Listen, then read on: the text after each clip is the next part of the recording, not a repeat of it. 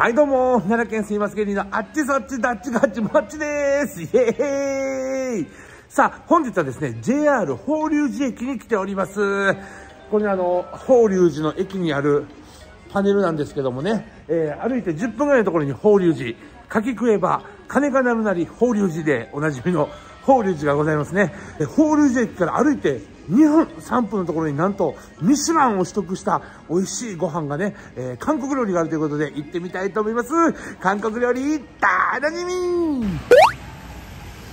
さあ、先ほど温度計見ると奈良県は1度となっておりまして、えー雪やみぞれがね、ちらついております。路地裏をね、進んでいくと、ございました本日ご紹介するお店はこちらですクッパのお店一平ちゃんです。店内はカウンターのみお席は6席となっております。そしてなんとミシュランガイド2017年に掲載されています。こちらがメニュー。クッパ定食なんと700円。安い。トッピングの人気ランキングとなっております。堂々の1位はお豆腐です。スープのベースになるのは大量の牛骨、コトコトコトコト煮込んで凝縮された旨味あるスープです。うわうまそう。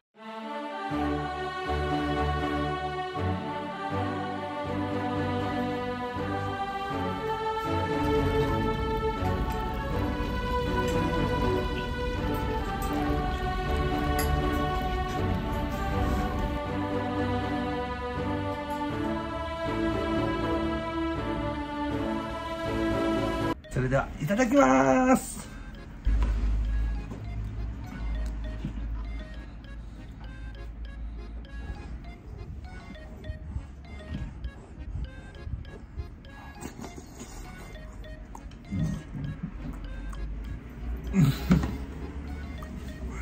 うん。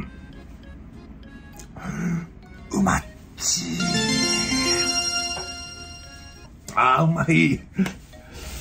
や、見た目ほどね、辛くないんですけど、ピリ辛で、うま辛って感じですね。旨味が深い。お肉もゴロゴロ入ってますよ。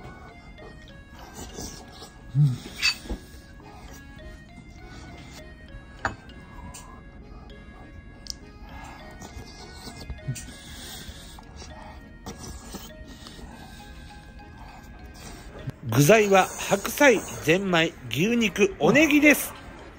もっちが大きすぎてわかりませんが、ご飯大は丼サイズです。ピリ辛、うま辛なスープをチーズと溶き卵がまろやかにしてくれています。辛いのがお好きな方は、机の上に置いてある一味唐辛子を入れるのがおすすめ。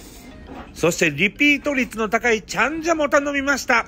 粒が大きくて本当に美味しいんです。このチャンジャ。ご飯が止まりません。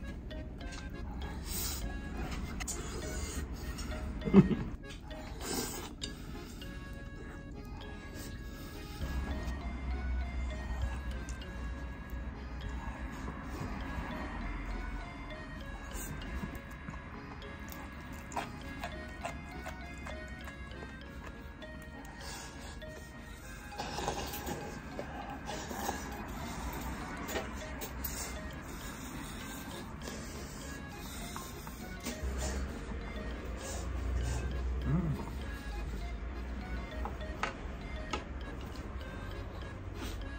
じゃあちょっと待って、ご飯大おかわりお願いしていいですか？あ、はい。すいません。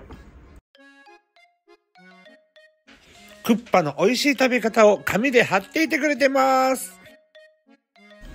お箸で具とご飯を食べていきます。ゴロゴロとした牛肉がたくさん入ってるのも嬉しいところ。そして具材を食べたら残ったスープにご飯をドボーン。これこれこれを食べに来てるんです。よし角的にも入れちゃえ。そして韓国海苔も。うまそう。かき混ぜて完成。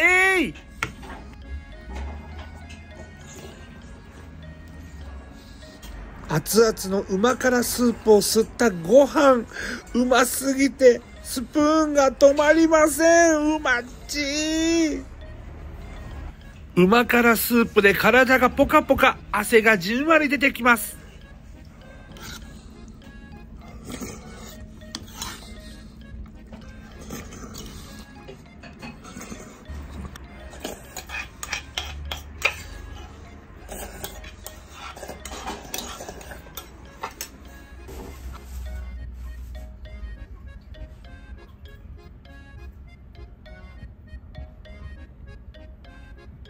いやー、美味しかったですね。もうなんであんなうまいんやろ。